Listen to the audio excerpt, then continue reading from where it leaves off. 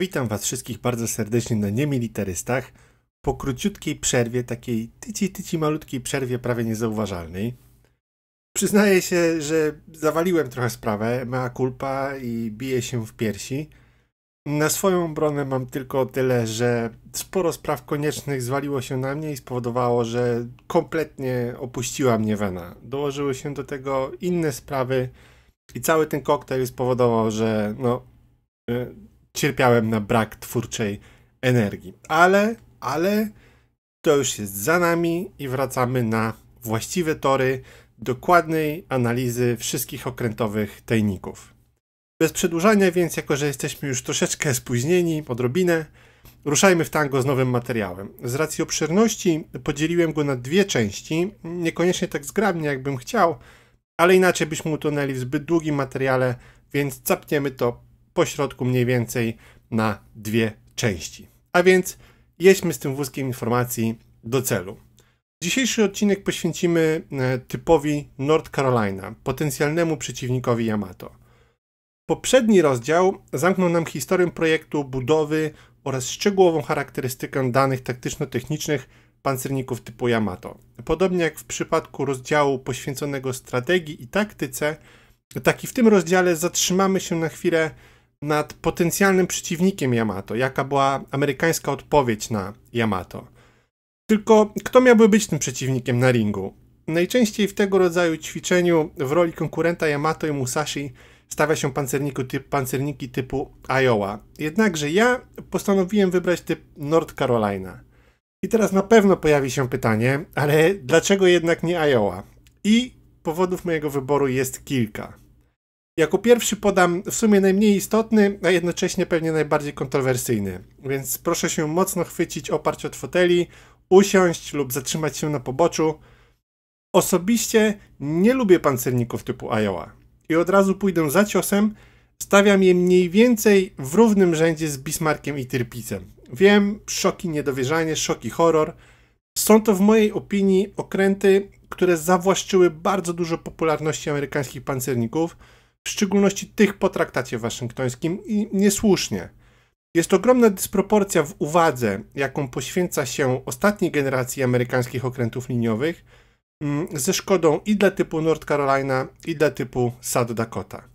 Iowa stawia się na piedestale myśli projektowej okrętu liniowego, podczas gdy niekoniecznie jest to zasłużone. Nie będę się wdawał w szczegółową analizę, to zostawimy sobie na materiał poświęcony konkretnie temu typowi okrętu liniowego, Dość powiedzieć, że nie pałam takim zachwytem do typu Iowa i wręcz lekko irytuje mnie ogrom atencji, jaka jest im poświęcona w literaturze i kulturze, podczas gdy dwa poprzednie typy, w mojej opinii znacznie ważniejsze i znacznie bardziej zasłużone, muszą się zadowolić ochłopami.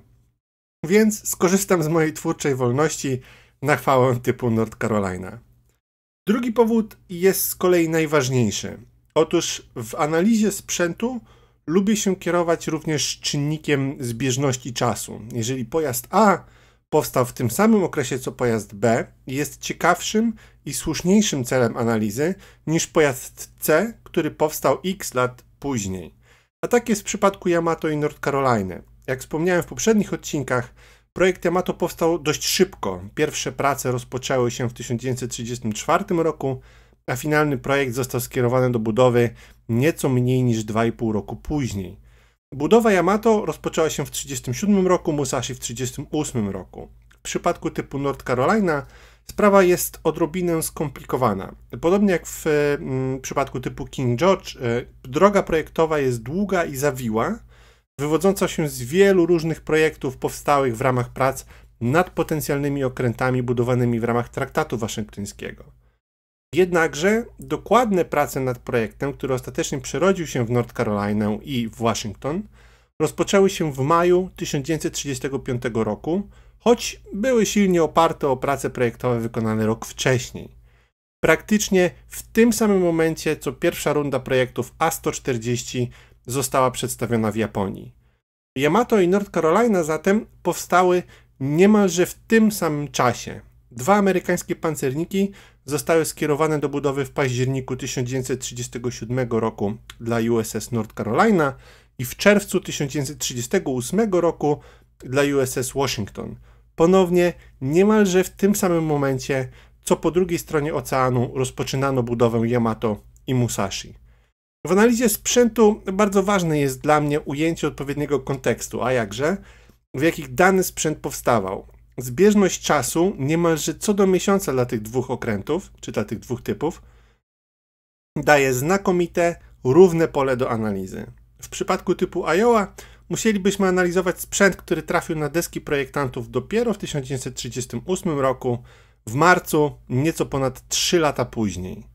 Również czas oddania do służby jest tutaj bardzo ważny. Przy czym tu już różnica nieco się zaciera, ale ze względu na krytyczny, wstępny okres wojny na Pacyfiku, dokładność jest tutaj bardzo ważna. North Carolina została oddana do służby z dużym opóźnieniem związanym z problemami z napędem 10 czerwca 1942 roku. USS Washington w maju 1941 roku, ale również musiał spędzić trochę czasu na opanowanie problemów związanych z wibracją, więc w 100% zawitał na oceany dopiero w pierwszej połowie 1942 roku, w marcu konkretnie. Ajoły natomiast zaczęły wchodzić do służby w 1943 roku. Różnica polega na tym, że w 1943 roku nie było już dla nich specjalnie roboty, gdzie w 1942 roku byłyby ogromnie przydatne, jak też i okazało się w przypadku USS North Carolina i USS Washington, ale również dla okrętów typu South Dakota. Również szanse na bój z Yamato malały wraz z upływem czasu i wzrostem roli lotniskowców na Pacyfiku. W pierwszym okresie wojny można by w miarę realnie założyć, że do takiego boju mogłoby dojść. W 1943 roku po Morzu Koralowym Midway, Santa Cruz, Guadalcanal szanse na taki bój były równe zeru, choć admirał Halsey bardzo się starał, żeby do tego doszło.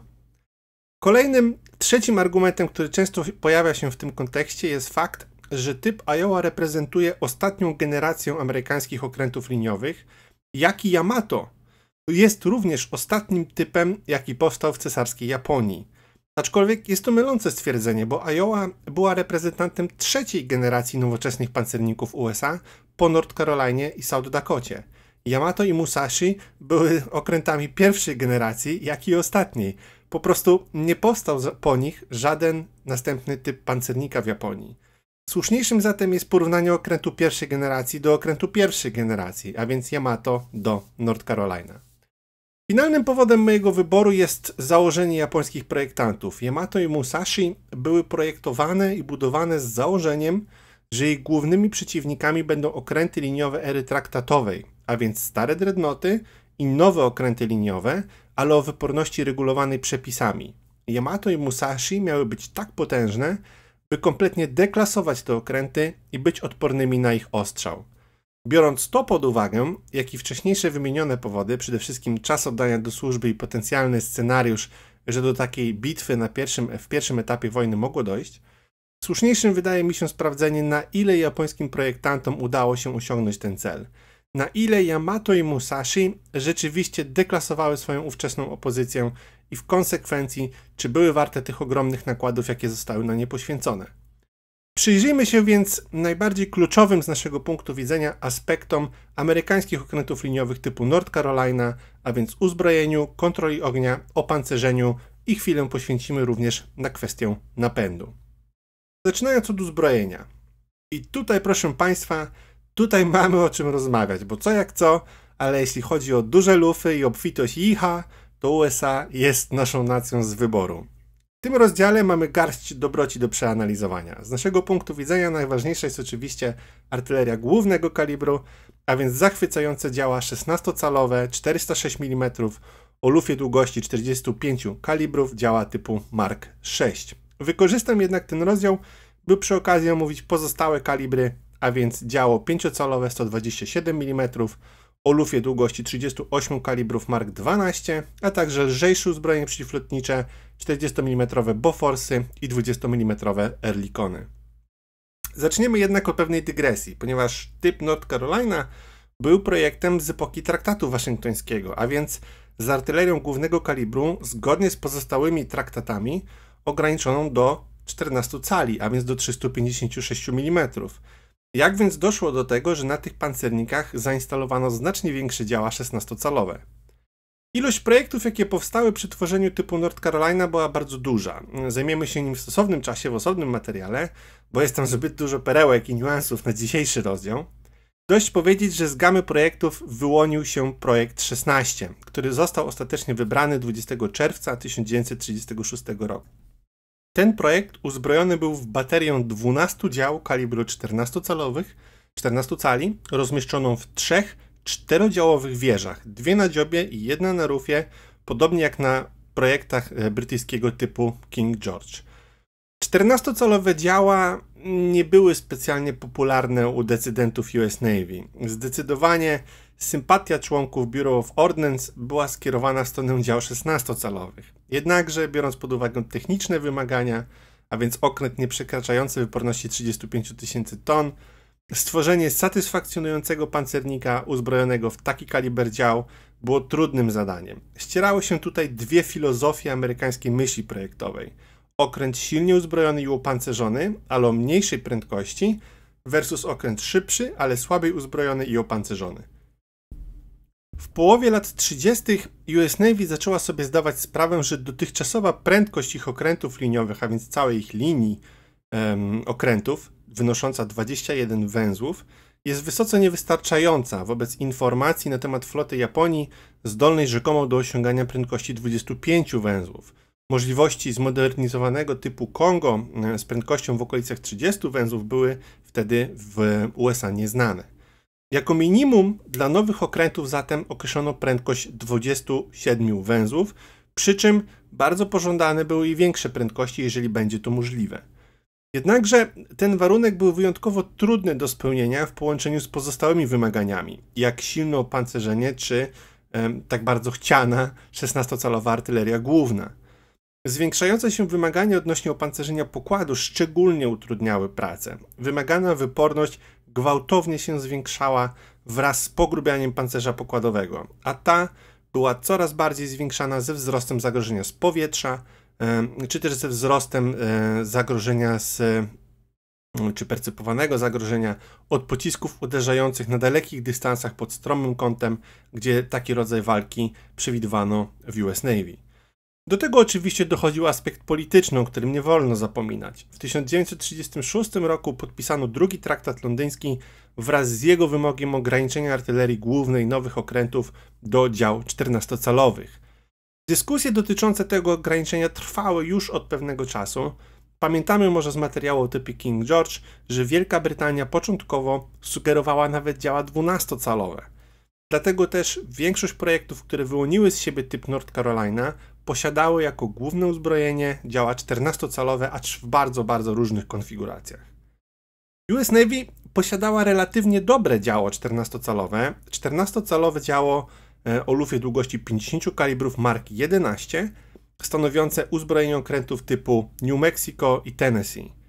Były to całkiem niezłe armaty, stanowiące modyfikację wcześniejszego typu Mark 7, który z kolei był modyfikacją wcześniejszego typu Mark 4.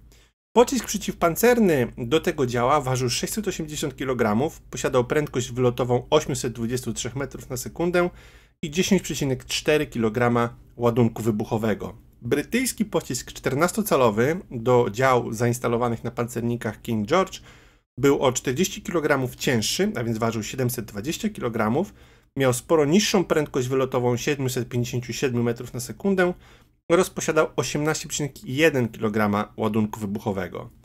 Co do penetracji, tutaj dane są oczywiście interesujące. Amerykański pocisk rzekomo miał posiadać zdolność penetracji 511 mm pancerza burtowego na dystansie 10 tysięcy yardów, czyli nieco ponad 9000 metrów, lub 349 mm na dystansie 20 tysięcy yardów, czyli nieco ponad 18 tysięcy metrów. Brytyjski pocisk 14-calowy rzekomo przebijał na tych, na tych samych dystansach odpowiednio 396 mm i 285 mm.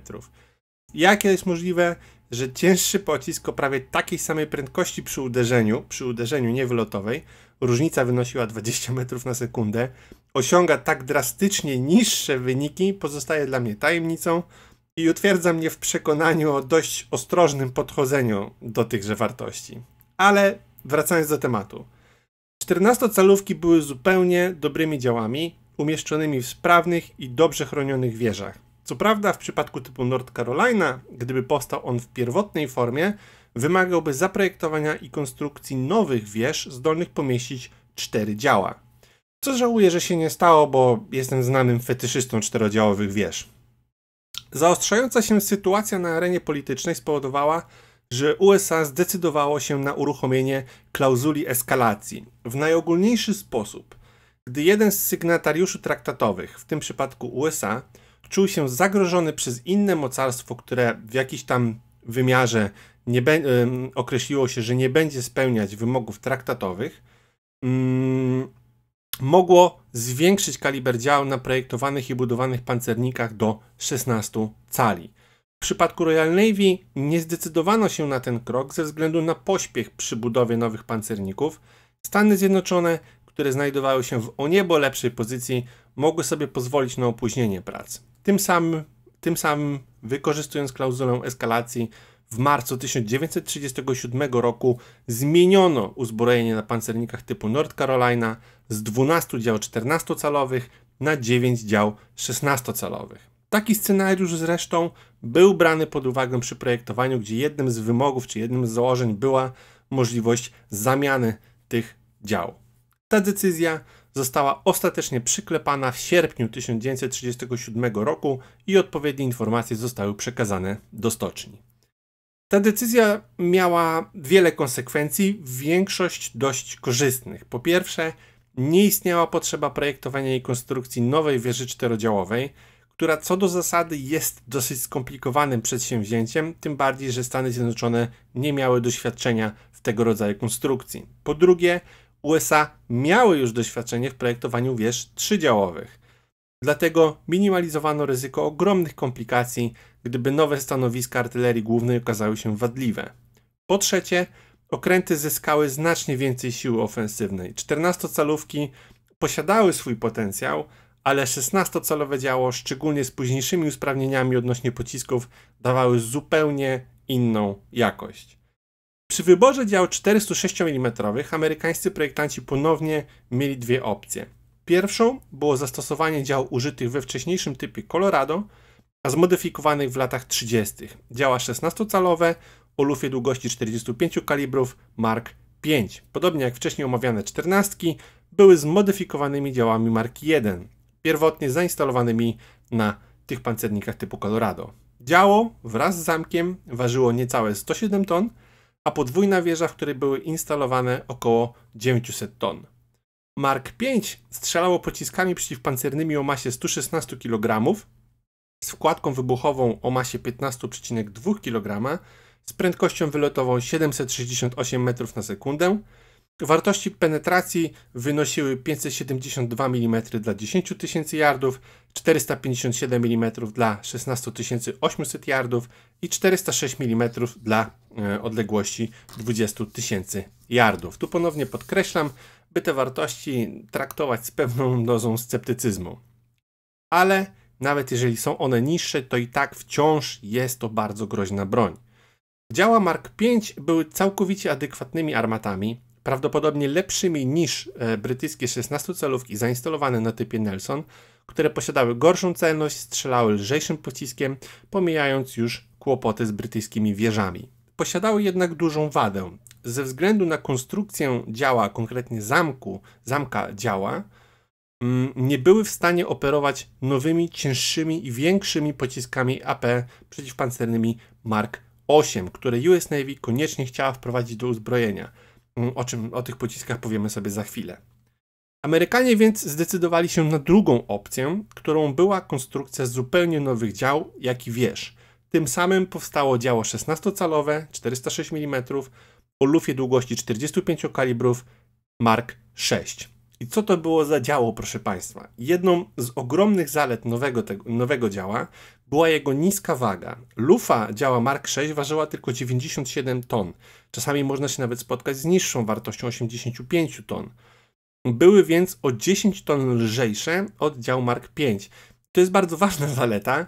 E, w dobie traktatów, kiedy każda tona na okręcie była bardzo szczegółowo rozpatrywana, nowe, działy pozwalały, nowe działa pozwalały na uzyskanie pewnych oszczędności. W efekcie 9 dział Mark VI e, ważyło tyle, co 8 dział Mark V.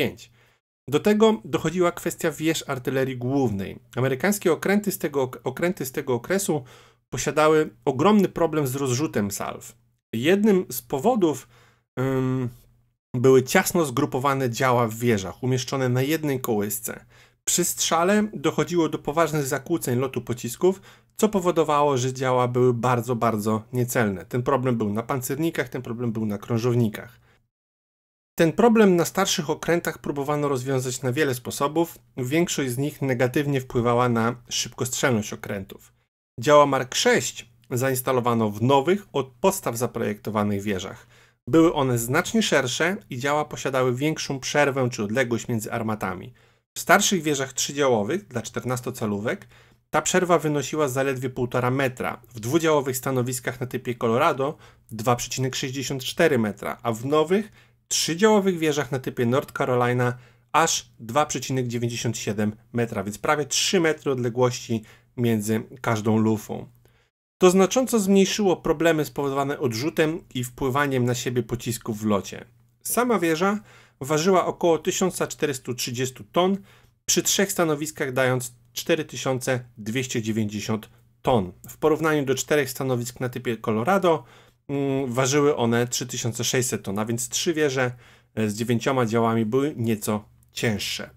Typ North Carolina i późniejszy typ South Dakota został uzbrojony w 9 dział tego kalibru i tego typu w trzech trzydziałowych wieżach. Dwie na dziobie i jedna na rufie w bardzo znanej i popularnej konfiguracji. Teraz dochodzimy do kwestii potencjału działa Mark VI.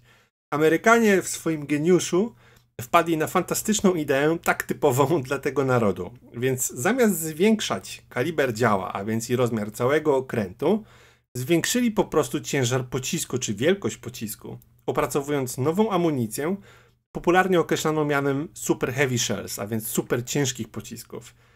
Poprzednie pociski przeciwpancerne Mark V ważyły 1016, 1016 kg, nieco ponad tonę. Nowe pociski przeciwpancerne Mark VIII ważyły 1225 kg, a więc ponad 200 kg różnicy na pocisku dla tego samego kalibru. By oddać dobrze skalę, de facto jest to taka różnica, jak między pociskiem 12-calowym a pociskiem 343 mm, czyli 13,4 cala w brytyjskich okrętach liniowych z okresu I wojny światowej. A więc pocisk, tylko jakby zmiana pocisku e, była jakby równoznaczna ze zwiększeniem kalibru o całą jedną jakby kategorię. Cięższy pocisk ma bardzo dużo zalet. Przede wszystkim uderza ze znacznie większą siłą w cel, co oczywiście skutkuje lepszymi właściwościami penetracji. Kolejną zaletą jest lepsze zachowanie prędkości wylotowej. Lekki pocisk szybciej wytraca prędkość i na większych dystansach uderza słabiej, natomiast cięższy pocisk odwrotnie.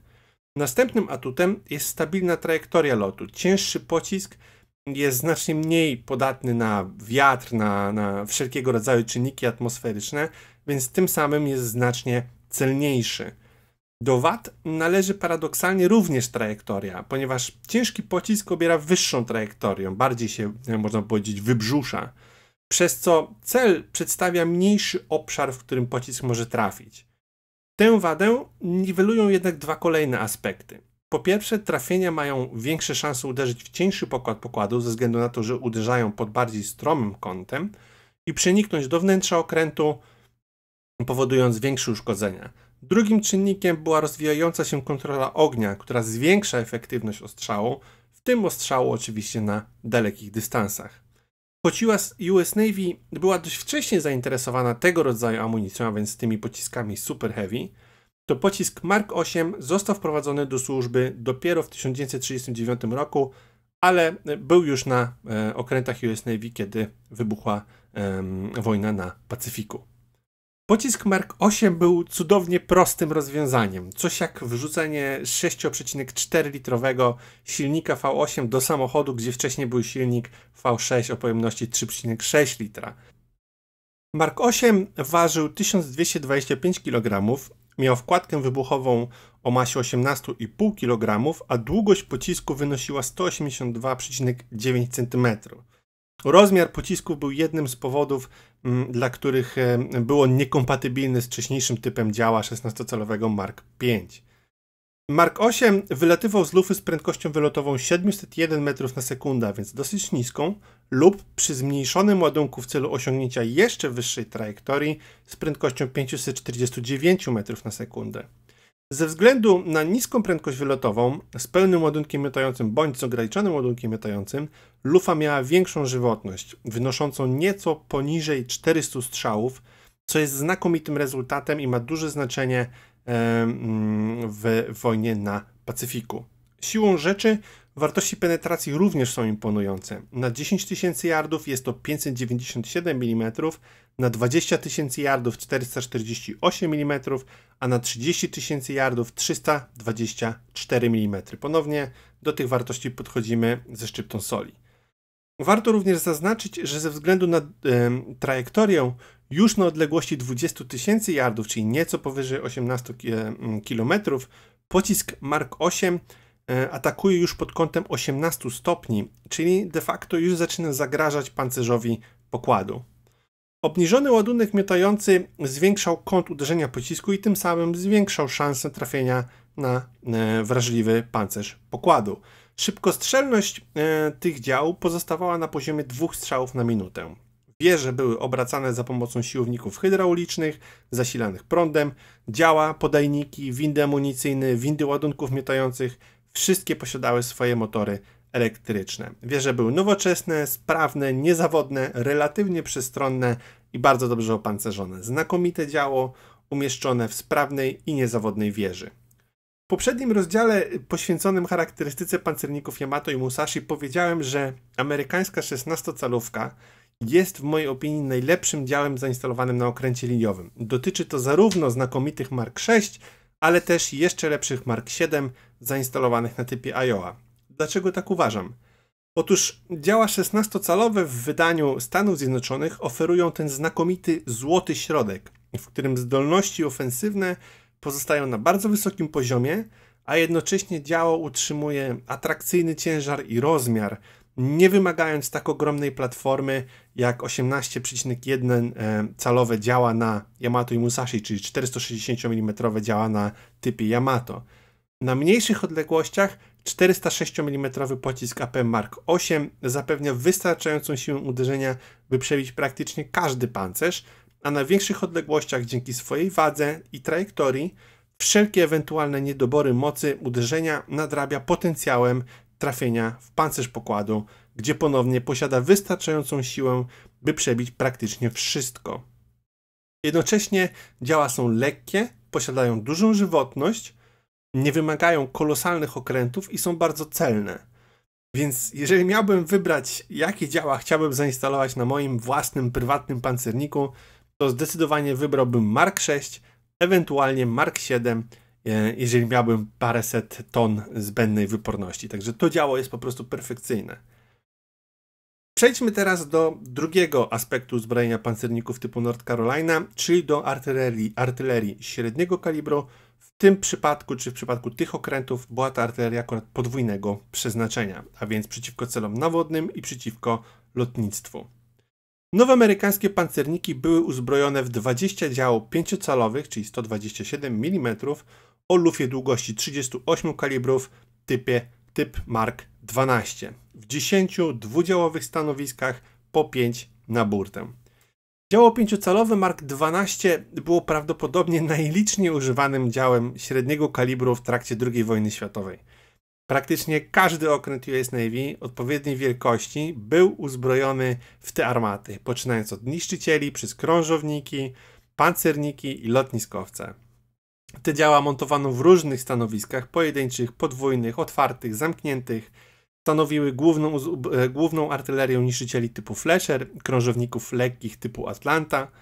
Mm, stanowiły uzbrojenie średniego kalibru na wszystkich nowych pancernikach US Navy, ale również instalowano je na modernizowanych dreadnoughtach. Były obecne na pokładach lotniskowców typu Essex, ale również na wcześniejszych typu Wasp, typu Yorktown, a nawet Lexington. Znakomita większość amerykańskich okrętów posiadała na pokładzie jakąś liczbę tych dział. Tutaj również należy się pochwała US Navy, gdyż po opracowaniu adekwatnego działa skupili się na jego masowej produkcji, nie wprowadzając innego uzbrojenia w tej kategorii praktycznie do zakończenia wojny, gdzie Royal Navy posiadała całą gamę uzbrojenia średniego kalibru, utrudniając logistykę i produkcję. Brytyjskie okręty były wyposażone w działa 5,25 cala, 4,7 cala, 4,5 cala i wreszcie 4 cale. Amerykańskie okręty posiadały tylko jeden kaliber 5-calowy, choć była nieduża grupa wcześniejszych okrętów uzbrojonych w starszy model tego działa, ale wciąż kaliber pozostawiał ten sam. To powodowało, że łańcuch logistyczny był znacznie uproszczony, a przy dziale tego rodzaju, potrzebującego zazwyczaj dużej ilości amunicji i szybko zużywającego lufy, prostota i łatwość uzupełnień jest ogromną zaletą. Działo pięciocalowe Mark XII plasuje się no, mniej więcej w wyższym średnim zakresie wagomiaru dla tego rodzaju uzbrojenia. Niemcy używali dział 105 mm, Wielka Brytania całej gamy 5,25, 4,7, 4,5, 4 cale. Japonia, jak wspomniałem w poprzednim rozdziale, mm, korzystała z działu również 5-calowych. Mm, Mark XII posiadał relatywnie krótką lufę, jedynie 38 kalibrów, tym samym osiągając stosunkowo niską prędkość wylotową pocisku 792 metrów na sekundę. To stanowiło jakby największą wadę tego uzbrojenia. Przy niskiej prędkości wylotowej czas dolotu do celu oczywiście się zwiększa. W przypadku walki z samolotami ma to ogromne znaczenie. Każda sekunda jest ważna. Jednakże, jak wkrótce zobaczymy, US Navy poradziła sobie z tym problemem w nieco inny sposób. Zasięg ostrzału wynosił do 16,5 km, a pułap skutecznego ognia około 11 e, km, czy 11 tysięcy metrów. Dużą zaletą była oczywiście imponująca szybkostrzelność, wynosząca 20 strzałów na minutę. Pocisk wylatywał z lufy co 3 sekundy. Dla porównania, brytyjska armata 5,25 cala z typu King George mm, osiągała szybkostrzelność tylko 8 pocisków na minutę, choć posiadała większą prędkość wylotową, większy zasięg i większy pułap. Te działa umieszczone były w różnych typach stanowisk. W przypadku typu North Carolina w zdwojonym, lekko opancerzonym stanowisku. Dużą zaletą była szybkość, z jakim wieża czy to stanowisko mogło się obracać, i działa podnosić. Obrót wieży wynosił 25 stopni na sekundę, a elewacja tych dział 15 stopni na sekundę. Ponownie dla porównania, przy brytyjskim dziale 5,25 cala te wartości wynosiły odpowiednio 10 stopni dla obu czynności, a więc znacznie, znacznie wolniej. Cóż to oznaczało w praktyce? Amerykańskie działa 5-calowe o lufie długości 38 kalibrów Mark XII były lepiej przystosowane do zwalczania samolotów niż okrętów. Dobry czas reakcji wieży na zagrożenie oraz duża szybkostrzelność działa pozwalały na skuteczne reagowanie, reagowanie na szybko zmieniającą się sytuację przy ataku z powietrza. Działo szybko obierało cel i wyrzucało zaporę z pocisków. W przypadku walki z celem nawodnym stosunkowo niska prędkość wylotowa, jak i leci, lekki pocisk 25 kg versus 36 kg dla działa 5,25 montowanego na brytyjskich okrętach utrudniało trafienie i minimalizowało szansę na jakieś poważniejsze uszkodzenia. Jednakże szybkostrzelność też nie jest tu do końca bez znaczenia. Cel zasypany gradem pięciocalowych pocisków, z których coś musi trafić, równie dobrze może zostać wyłączony z akcji lub skutecznie zniechęcony do e, jej przeprowadzenia. Tutaj e, pamiętajmy o zeznaniu brytyjskich dowódców niszczycieli, którzy stwierdzili, że bardziej boją się atakować pancernik z mniejszymi działami, ale o większej szybkostrzelności, niż z potencjalnie groźniejszymi działami większego kalibru. Posiadamy zatem bardzo dobre działo z pewnymi zaletami i nielicznymi wadami, aczkolwiek przy amerykańskim uzbrojeniu pozostaje jeszcze wyjątkowo ważna kwestia amunicji. Tak jak pocisk przeciwpancerny AP Mark 8 zmienił drastycznie siłę ognia głównej artylerii, tak i w przypadku dział 5-calowych Mark 12 również możliwości zostały zwiększone przez nowy efektor. Efektor to jest takie modne słowo ostatnimi czasy, nic innego niż pocisk. Co prawda częściej używany w odniesieniu do pocisków rakietowych. Działo 5-calowe Mark 12 dysponowało całkiem pokaźną rodziną tych pocisków czy tych efektorów. Mm, Special Common, czyli rodzaj pocisku semi-przeciwpancernego, HC, czyli High Capacity, pocisk przeznaczony do atakowania lżej opancerzonych okrętów, posiadający większy ładunek wybuchowy, Posiadało pocisk przeciwlotniczy, pocisk dymny, oświetlający, zakłócający, służący do mm, zakłócania pracy radarów oraz wspomagany, wprowadzony po wojnie z dodatkowym napędem rakietowym. Większość pocisków ważyła 25 kg, niektóre nieco mniej i posiadały około 3,5 kg ładunku e, czy materiału wybuchowego. W zależności od typu pocisku mogło być to 3,8 do 0,9 kg. Ta gama pocisków posiadała dodatkowo różne wersje, zazwyczaj różniące się nieznacznie rodzajem zapalnika, wielkością ładunku wybuchowego, etc. Najważniejsza jednak zmiana dotyczyła rodzaju zapalnika. Do wybuchu wojny na Pacyfiku do wyboru były tylko dwa rodzaje: kontaktowy i czasowy. W czerwcu 1940 roku rozpoczęto pracę nad nowym rodzajem zapalnika e, VT Fuse, czyli Variable Time Fuse, czyli zapalnik zbliżeniowy. W efekcie był to rodzaj małego radaru zamontowanego w nosie pocisku, który powodował eksplozję, kiedy pocisk znajdował się w pobliżu celu i radar otrzymał na tyle silny sygnał, by uruchomić zapalnik. Pociski z zapalnikiem VT E, stały się rzeczywistością w 1941 roku, a seryjna produkcja rozpoczęła się pod koniec 1942 roku. Pierwsze bojowe użycie miało miejsce w 1943 roku, kiedy krążownik USS Helena zestrzeliła, czy zestrzelił japoński bombowiec nurkujący, trafiając cel drugą salwą z trzech wystrzelonych. Ten pocisk kompletnie zmienił jakość amerykańskiego i wkrótce również brytyjskiego ognia przeciwlotniczego. Opracowany przez sekcję T, szybko został wprowadzony na pokłady amerykańskich okrętów wojennych. Działa przeciwlotnicze średniego kalibru posiadały tę przewagę, że ich ogień sięgał na tyle daleko, by całkowicie zatrzymać atak. Działa mniejszego kalibru 40 i 20 mm ryzykowały zestrzelenie celu już po zrzuceniu przez ów cel ładunku. Pięciocalówka Mark XII stała się zatem jedną z najgroźniejszych broni przeciwlotniczych w alianckim arsenale. By oddać dobrze skalę zmiany, po wprowadzeniu zapalników z zapalnikiem po wprowadzeniu pocisków z zapalnikiem zbliżeniowym, bardzo szybko działa pięciocalowe z tą amunicją stały się odpowiedzialne za ponad 50% wszystkich zestrzeleń artylerią przeciwlotniczą. Jest to niesamowity sukces, biorąc pod uwagę, że do tej pory działa tego kalibru no, były raczej średnio efektywne, służąc raczej rozbijaniu formacji, wprowadzaniu zamętu, czy być może zniechęcenia do atakowania. Po wprowadzeniu zapalnika zbliżeniowego działa pięciocalowe wskoczyły na pierwsze miejsce pod względem skuteczności ognia przeciwlotniczego. Posiadały jednak również ograniczenia. Ze względu na sposób działania zapalnika, ogień przeciwko samolotom lecącym tuż nad powierzchnią wody był ryzykowny. Zapalnik mógł się uruchomić e, na podstawie odbicia tafli wody. Jednakże na Pacyfiku, przy narastającym zagrożeniu od nurkujących samolotów kamikadze, pięciocalówka Mark XII, wyposażona w pociski z zapalnikiem zbliżeniowym, była najskuteczniejszym sposobem obrony bezpośredniej dla okrętu. Warto tutaj e, powtórzyć, co powiedziałem wcześniej, a więc US Navy słusznie zdecydowała się na ujednolicenie uzbrojenia tego kalibru. Tym samym po wprowadzeniu pocisków z zapalnikami VT, amerykański zespół dysponował dosłownie setkami tych dział, o wysokiej skuteczności, prostym łańcuchu logistycznym. Sam typ, sam typ North Carolina, podobnie jak pozostałe szybkie pancerniki, posiada 20 takich armat. Jeden okręt posiada 20 takich armat w 10 stanowiskach, po 5 stanowisk na burtę. Skoncentrowany task force amerykańskich okrętów był w istocie bastionem skutecznego ognia przeciwlotniczego. Nieco gorzej, przynajmniej w przededniu i na początku wojny na Pacyfiku, przedstawiała się sytuacja z uzbrojeniem mniejszego kalibru.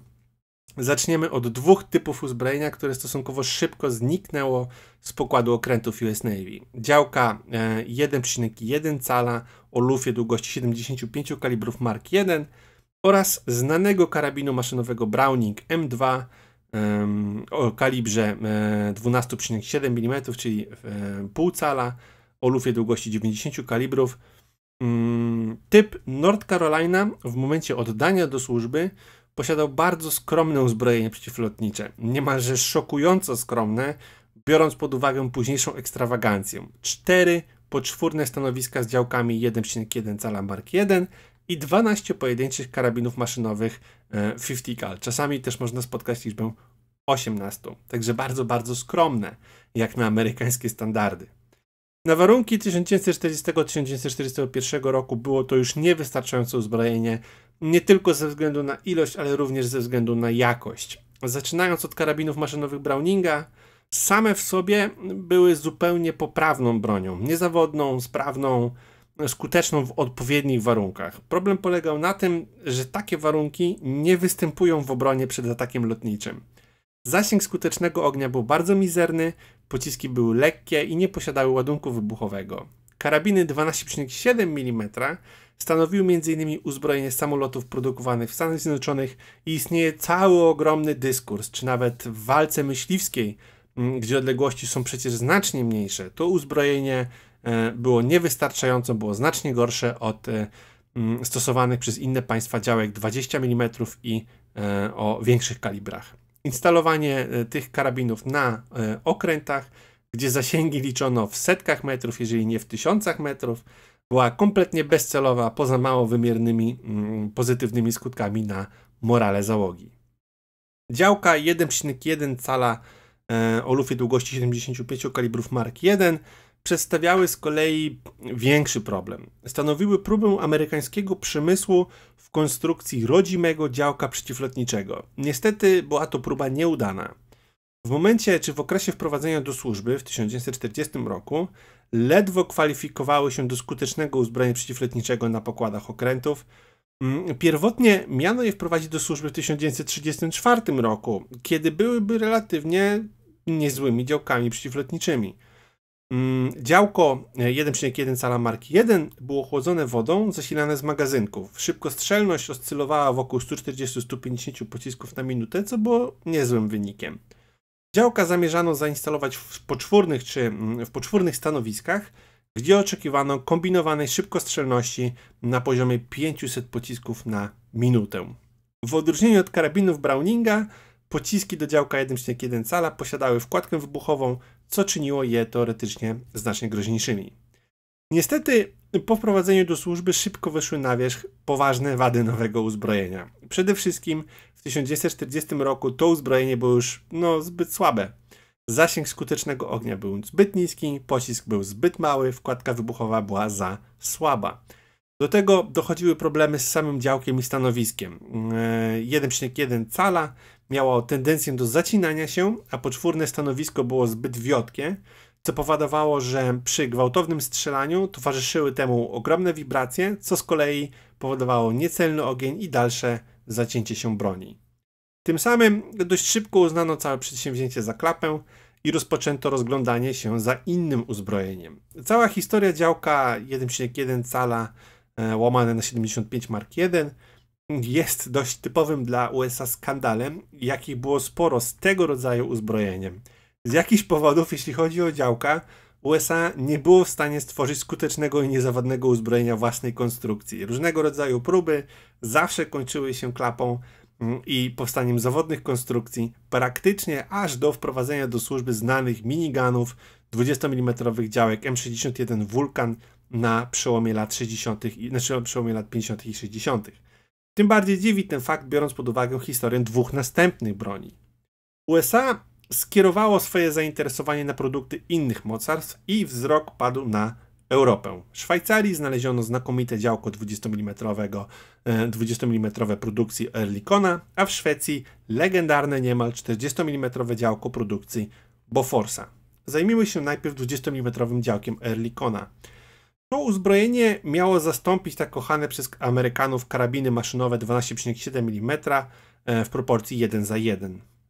I choć w trakcie wojny gościły na pokładach okrętów US Navy w obfitości, to przed wojną, co ciekawe, nie znalazły sympatii w Stanach. W 1935 roku USA odrzuciło tą broń, wtedy był to model 1934 czy 1934, ze względu na zbyt niską prędkość wylotową pocisku i zbyt niską szybkostrzelność. Jednakże w przededniu wojny na Pacyfiku, kiedy potrzeba nowego uzbrojenia przeciwlotniczego stała się bardzo pilna, Powrócono do szwajcarskiego działka i w 1940 roku przyjęto je na wyposażenie i szybko rozpoczęto produkcję amerykańskiej wersji. Produkcja początkowo szła powoli, ale po ataku na Pearl Harbor oczywiście dramatycznie przyspieszyła. Był zmysłowić skok. Do grudnia 1941 roku zbudowano tylko 379 egzemplarzy tej broni, Natomiast od grudnia 1941 roku do końca wojny w 1945 roku powstało prawie 125 tysięcy tej broni. Pocisk do tego działka był dość lekki i ważył nieco ponad 120 gramów, w zależności od typu pocisku, odłamkowy, odłamkowo zapalający, przeciwpancerny, smugowy i tym podobne.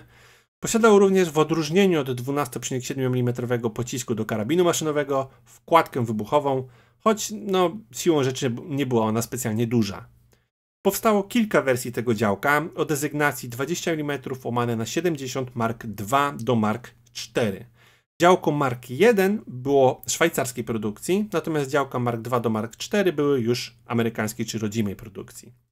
Montowano je w pojedynczych, podwójnych lub poczwórnych stanowiskach, choć poczwórne były e, bardzo rzadkie. Szybkostrzelność wynosiła około 450 pocisków na minutę, ale w rzeczywistości osiągano skromniejszy wynik od 250 do 320 pocisków na minutę.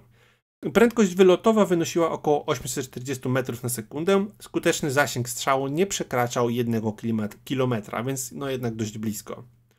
W porównaniu do innych działek, 25 mm działka na japońskich okrętach i 20 mm działka na niemieckich okrętach. Japońskie działko Type 96 osiągało szybkostrzelność teoretyczną na poziomie 260 pocisków na minutę, praktyczną jednak 110-120 pocisków na minutę z prędkością wylotową 900 metrów na sekundę. Niemieckie działko 2 cm łamane na 65, C łamane na 30 i późniejsze C łamane na 38 z kolei strzelało odpowiednio 280 pocisków na minutę i 480 pocisków na minutę dla późniejszej wersji. W teorii oczywiście, w praktyce 120-220 prędkością wylotową 835 metrów na sekundę. Japońskie uzbrojenie nieco odstaje więc jakościowo, natomiast niemieckie działko, szczególnie w wersji tej późniejszej C38, dorównuje osiągami Ehrlichonowi.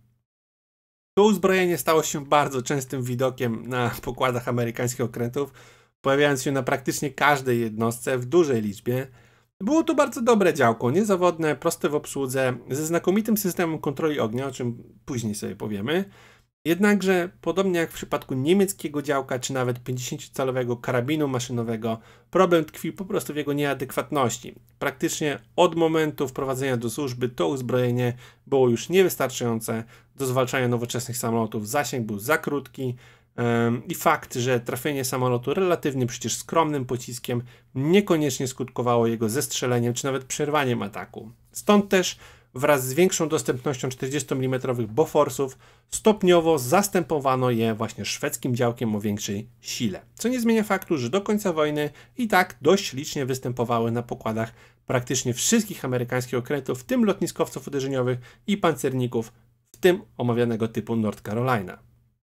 Prawdziwa zmiana jakości w ogniu przeciwlotniczym, jeśli chodzi o uzbrojenie małokalibrowe, była oczywiście skryta w działku Boforsa o dość pokaźnym rodowodzie, wywodzącym się z czasów jeszcze po I wojnie światowej. Historia tego uzbrojenia w służbie US Navy jest niemalże identyczna z poprzednim 20 mm działkiem Erlikona. Działko 1,1 cala okazało się kapryśne i nieskuteczne, dlatego w 1940 roku zakupiono zdwojoną wersję działka Boforsa chłodzoną powietrzem. Choć pierwsze egzemplarze tego działka w USA pojawiły się jeszcze w 1937 roku, ponieważ US Army była zainteresowana tego rodzaju uzbrojeniem. Po prezentacji na pokładzie duńskiego okrętu postanowiono wprowadzić to uzbrojenie do służby. Zakupiono licencję w 1941 roku i niestety, nim można było podjąć w USA produkcję seryjną tego uzbrojenia, należało je dostosować do amerykańskich wymogów masowej produkcji. To był dosyć duży problem, jeśli chodzi o e, wszelkie importowane wyposażenie dla Stanów Zjednoczonych. Szwedzkie działko było produkowane oczywiście w innych jednostkach niż e, m, produkowano by je w USA. Chodzi oczywiście o system metryczny versus system imperialny. Wiele czynności wykonywano ręcznie. Niektóre wymiary nie były nawet określone. Zalecano, by pracownik dopasowywał tą część czy tę część już w trakcie składania całego działka. US Navy chciała również, by broń była chłodzona wodą, a nie powietrzem. Jak również samo stanowisko musiało być obracane i operowane mm, za pomocą zasilania, a nie ręcznie. Należało więc wykonać bardzo dużo modyfikacji, bardzo dużo zmian, by dostosować szwedzki produkt do mm, e, szwedzki produkt do amerykańskich fabryk i do wymogów US Navy. Można by nawet powiedzieć, że stworzono tak naprawdę niemalże nową broń, biorąc pod uwagę zakres prowadzonych modyfikacji. Pierwsze próbne strzelanie z nowego poczwórnego stanowiska miało miejsce na pokładzie pancernika USS Wyoming w czerwcu 1942 roku, a zdwojone, czyli podwójne stanowisko na pokładzie USS Colan czy Coglan, nie wiem jak to się dokładnie wymawia, parę dni później. Produkcja seryjna ruszyła pełną parą, ale popyt został dopiero zaspokojony w 1944 roku, kiedy o ironię stawało się już jasne, że i to uzbrojenie również już, również już jest niewystarczające. Działko 40 mm łamane na 56 Mark I i Mark II było oczywiście fantastycznym uzbrojeniem i konstruktorzy USA znakomicie się spisali. Działko ważyło około tony, było montowane na zdwojonych i poczwórnych, zasilanych stanowiskach, dzięki czemu obrót i elewacja dział odbywała się błyskawicznie. Pocisk ważył niecały kilogram, posiadał wkładkę wybuchową o masie prawie 7 gramów. Prędkość wylotowa wynosiła 881 metrów na sekundę, szybkostrzelność teoretyczna 120 do 160 pocisków na minutę, praktyczna 80 do 90 pocisków na minutę. Pociski detonowały samoistnie po pokonaniu odległości 4000 metrów. Działko było zasilane z magazynka liczącego cztery pociski. Ciekawostką jest fakt, że e, Bofors miał automat ładujący, który przerywał ogień, m, mm, kiedy do wystrzelenia pozostały w komorze tylko dwa pociski. Jeden w komorze, drugi w automacie ładującym. To rozwiązanie pozwalało na zminimalizowanie przerw w ogniu. Bofors był gotowy do strzału tak szybko, jak tylko kolejny magazynek znalazł się w automacie. Automat ładujący mieścił też dwa takie magazynki, więc załoga miała taką chwilę, by uzupełnić e, brakującą amunicję. Brytyjskie pompomy zdecydowanie w porównaniu odbiegały jakością od amerykańskich 40 mm działek. Posiadały znacznie mniejszą prędkość wylotową pocisków, mniejszy zasięg skutecznego ognia, były bardziej zawodne, bardziej skomplikowane, posiadały gorszą amunicję. Niemieckie działka 3,7 cm e, łamane na 83 SKC łamane na 30, takie jak zainstalowane na Bismarcku, również były znacznie gorsze, przede wszystkim posiadały bardzo niską szybkostrzelność. Dopiero późniejsze działka 3,7 cm łamane na 69 flak M42 wprowadzone do służby w 1944 roku prezentowały podobne osiągi do Boforsów, natomiast dla Kriegsmarine tak naprawdę w 1944 roku nie miało to już żadnego znaczenia. Ponownie jednak, mimo znakomitych osiągów, 40 mm Bofors szybko zmieniające się warunki wojny na Pacyfiku również stopniowo obniżyły czy obniżały skuteczność tego uzbrojenia. Kiedy US Navy stała się celem ataków kamikadze, 40 mm działka nie radziły już sobie e, tak dobrze z obroną powietrzną. Problemem oczywiście był zasięg skutecznego ognia, jak i fakt, że pociski były zbyt małe, by zastosować w nich zapalniki zbliżeniowe, takie jak opracowane e, dla dział pięciocalowych. Mimo to jednak, podobnie jak w przypadku działek Arlikona, na pokładach amerykańskich okrętów to uzbrojenie gościło dość licznie aż do końca wojny i stało się niemal ikonicznym obrazem amerykańskiego uzbrojenia przeciwlotniczego mm, z okresu wojny na Pacyfiku. Typ North Carolina posiadał 15 poczwórnych stanowisk 40 mm Boforsów oraz dużą liczbę 20 mm Oerlikonów. Dla USS Washington były to aż 83 stanowiska pojedyncze, natomiast dla USS North Carolina tylko 36 stanowisk. W kwestii uzbrojenia więc, amerykańskie pancerniki prezentują się znakomicie. Główna artyleria posiadała ogromną siłę. Była umieszczona w nowoczesnych i sprawnych wieżach. Działa średniego kalibru były podwójnego przeznaczenia, a dzięki zapalnikom zbliżeniowym bardzo skutecznym w roli przeciwlotniczej, a więc przede wszystkim zwalczały tego rodzaju zagrożenia, jakie faktycznie na Pacyfiku się pojawiło. Uzbrojenie małokalibrowe, złożone z 40 mm Boforsów i 20 mm Erlikonów amerykańskiej produkcji, było najlepsze na świecie, choć podobnie jak w każdej innej marynarce, mimo wszystko stopniowo stawało się coraz mniej skuteczne wraz z rozwojem możliwości lotnictwa. Ogromna zaleta amerykańskiego uzbrojenia jednak tkwiła w jeszcze jednym aspekcie kontroli ognia. I tu zrobimy sobie, proszę Państwa, przerwę i dokończymy to e, w kolejnym odcinku. Mam nadzieję, że materiał Wam się podoba. Jeszcze raz z całego serca przepraszam Was, że musieliście tyle czekać. Dziękuję przede wszystkim patronom za Waszą cierpliwość i wyrozumiałość i tych, którzy zrezygnowali. Przepraszam, że kazałem im zbyt długo czekać. Mimo wszystko mam nadzieję, że e, nie opuścicie mnie zupełnie, że materiał Wam się będzie podobał i obejrzycie z miłą chęcią następny, gdyż będziemy oczywiście ten projekt kontynuować. Na dzisiaj, proszę Państwa, to tyle. Zobaczymy się już niedługo, bo materiał już mam przygotowany, także wszystko jest gotowe, tylko muszę go nagrać. Mm, myślę, że w ciągu tygodnia. Także do zobaczenia już niedługo. Trzymajcie się. Cześć.